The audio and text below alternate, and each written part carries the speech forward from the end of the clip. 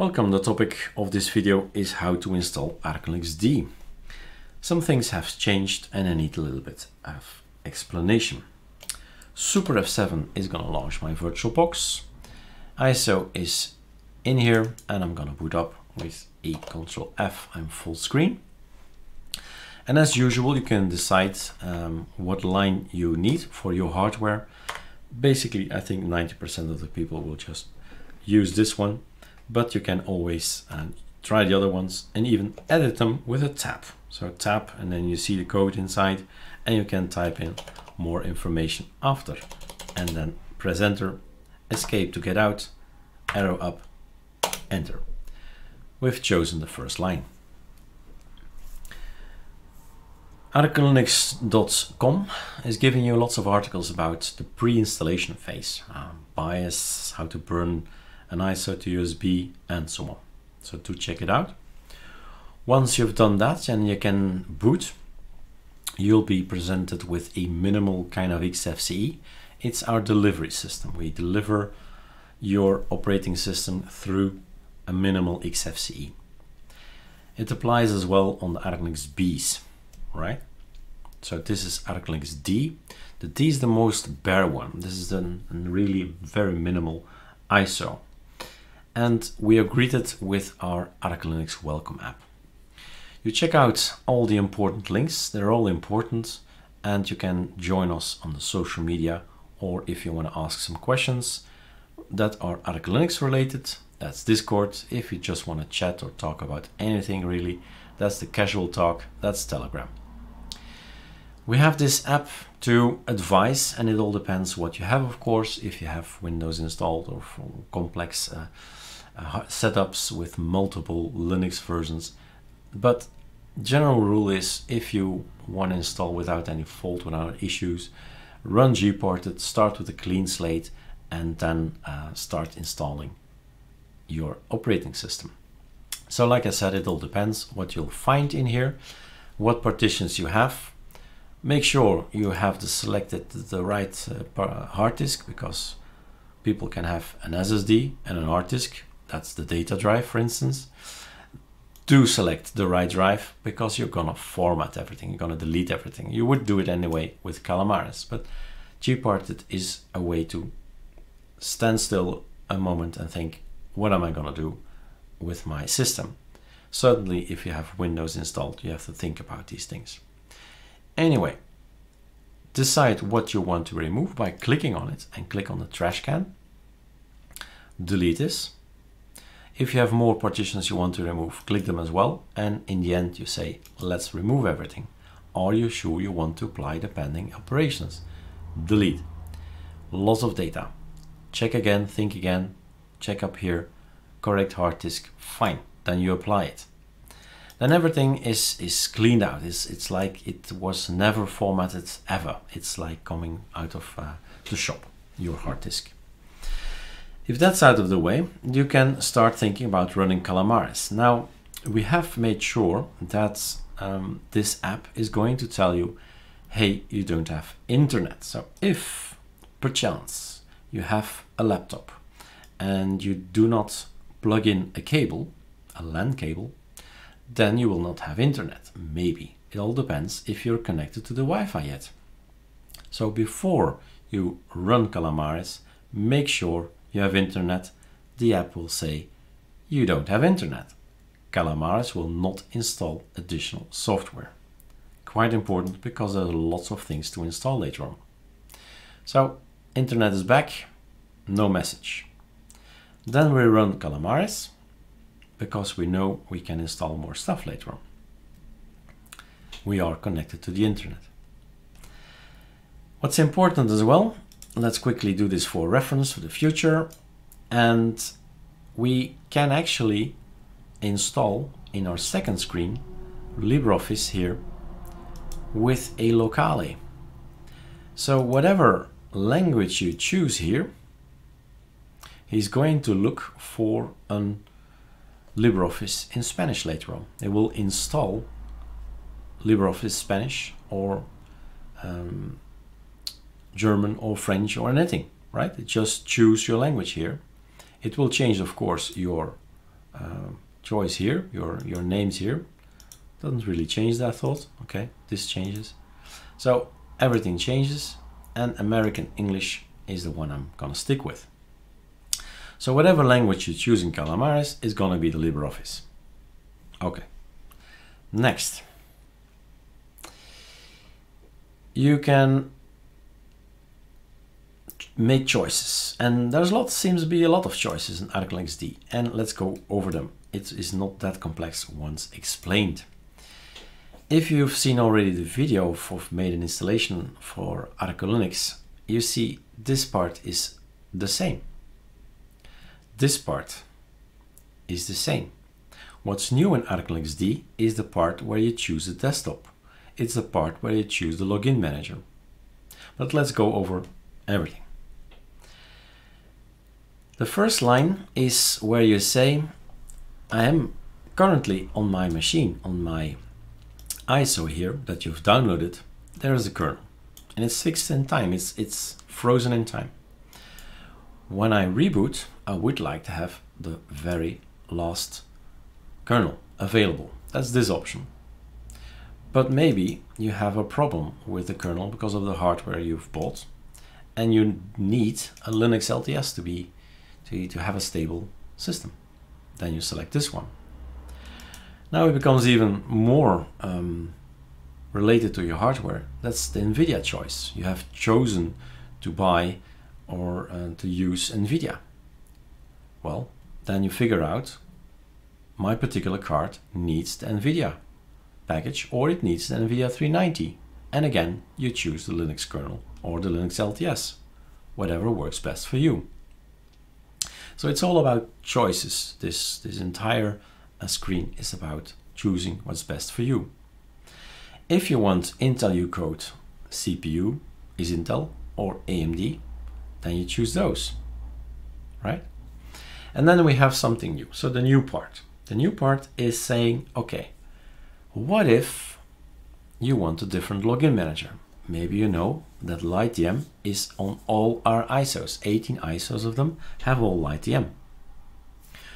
There are people who say, I would like to have SDDM.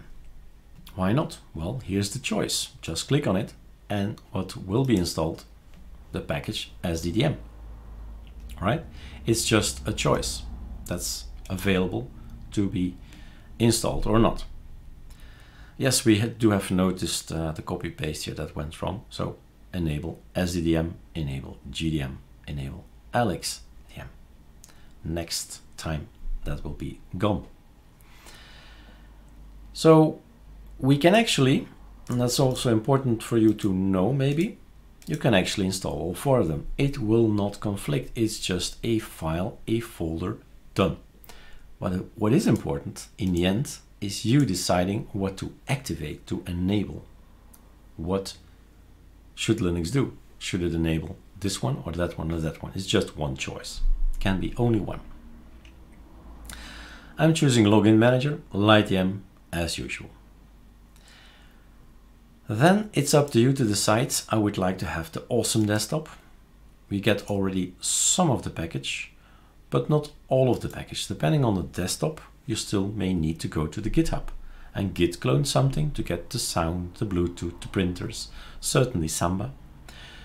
But depending on the desktop, eh, Plasma is known to be a very complete desktop, you already have sound, right? So it all depends what you select in here. That maybe you still need to go to the git clone, but that's part of the Sherlock Holmes um, well view to figure out what Lego blocks you'd like and need to have a working system. Let's keep it simple um, this time. Let's install XFCE. You can say, I want to have XFCE. Great. But you know what? I'm gonna theme it myself. Thank you, ArcoLinux. Great look, but I'm gonna make it myself. I'm gonna theme it myself. Great. Now, that's one thing you can do. The other thing is, what if I can't decide? I'm gonna take Mate as well. But you know what? I'm gonna try again, figure out myself what I need. There will be no keyboard shortcuts. There will be no icons and themes and all that, it will be as you were in phase 5 installing Arch Linux, the Arch way, archlinuxd.com. So options, options, choices, choices. It's great to have all these choices and it's important, well, to remember that you need to select something here. So the first thing is login manager, right? Login manager. Choose one of them. Choose all, all of them, but you can only enable one. Choose your desktops you want to install. I'm gonna take Mate and XFCE. Why? Because they're desktops and not tiling window managers. With the tiling window manager, you always need to do skel afterwards, after installation, always skel. Remember that already. And we want to see what this looks like. What is a Arch Linux look of Mate and XFCE? Let's not install Arch Linux. We can still do that later. sudo pacman minus s. Install it. So if you've uh, chosen like so, let's go over it again. One login manager, a desktop or two, maybe just one, maybe something extra from here, Chromium for example, and then we go and install it. We go for a next. We go check if it's correct. Normally it's correct, but if the server is down for maintenance on KDE, then you won't see the button there. Or else you just select here. Maybe change the system language or the numbers down here. And then we go for next. Choose your keyboard, choose it wisely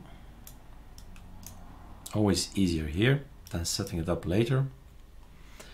And then we decide. We have used gparted, so we don't see anything in colors, in pieces like that, in blocks, right? Everything is black. We erase the disk. We choose whatever we want, with swap, without swap, big swap, small swap. That's the choice here. It means that if your memory is starting to get full, it can use this particular partition to, to get some extra space or memory. And this one is actually to go to hibernate, to shut down and reboot later on. So those options are available, three of them, plus encrypt or not encrypt, so six of them. The Arch Linux I have encrypted, so the video you can watch that one. So this one, Arch Linux D, I will not encrypt it.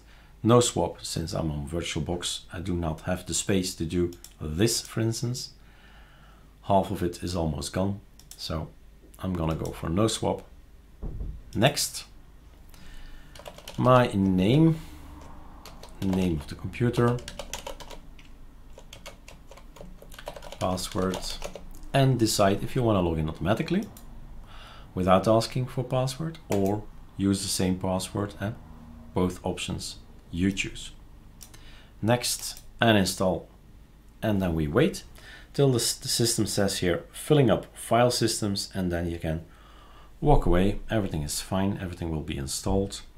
And let's pause the video here and be back shortly all right, he's finished with a control F. We're going full screen again and we restart. Arch D is still pretty much the same as before, but we got lots of more freedom to test out things and to play around with different kind of applications, Lego blocks, so to speak. You end up in a terminal, as usual, you end up something black, the TTY. You log in and you see NeoFetch greeting you. There are two things to remember. That's it. Two things.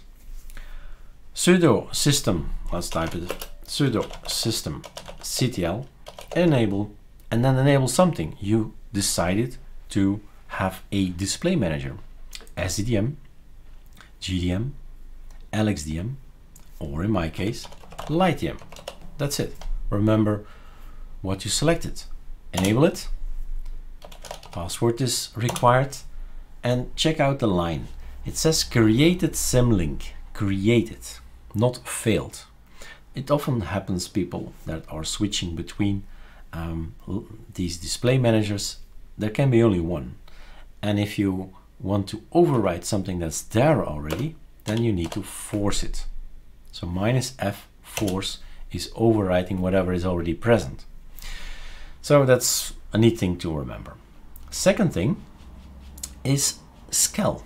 If you're on a tiling window manager, if you've chosen, chosen awesome BSPWM and so on and so many others, then the configuration is in etc skel, not in your home directory, in your booting from your home directory. With an SR, sudo reboot, we're booting back up. That's all we need to remember, two things. Enable whatever display manager we have and skel or do not skel. In this case, I have a real desktop. I do not have a tiling window manager. I do not skel and see what I get. This is Mate. Let's take a look at how Mate looks out of the box on Arch Linux. This is as if you would do phase 5. Arch Linux installation, the Arch way, skipping the, the several phases and ending up in a screen like this. This is the look we get. These guys are always going to be installed. We need to develop, right? In the internet, there's one Firefox. We always need this one. We need to look something up. We need to type something. We need to compare something, basically. And this is what I just selected on Calamares as extra, right? But this is the real look from Mate. Nothing has been changed. Now let's log out because we have two desktops. We can decide to have a second, a third. Well, we have 15 desktops. And then you log back in, decide to have XFCE, and we get this kind of look. So we've done a lot of changes with our XFCE. This is the standard look of XFCE and that's the fun of it. Now you can start tweaking it yourself, right? You can change it yourself, start installing applications, making keyboard shortcuts because none of these things will work, right? Control Alt T luckily in this one works. Now, as such, this point in time, we've not done any skel and it's interesting to know and to learn what is in skel. Go to your file system at this point with the selection we've made, go and investigate because this is a little bit a Sherlock Holmes story. You need to be a little bit a detective and investigate what do we have. If I type skel, first of all, does skel exist? Yes, our bash RC is present. We can copy paste everything of these guys over. What's inside the .config is the welcome app to auto start it and NeoFetch. And NeoFetch can immediately show you already. NeoFetch is not looking normally. I mean, what's this thing here? Right? So we do a skel, we do a control T, and we see that the version number is finally there. And this VirtualBox thing, it's gone. So that's how you go and, and investigate whatever choices you've just made in Arch Linux D and play around with it. It's gonna be awesome. So that's it for me, guys. Enjoy Arch Linux D and all the choices and uh, variants you can start making and uh, have fun. Cheers.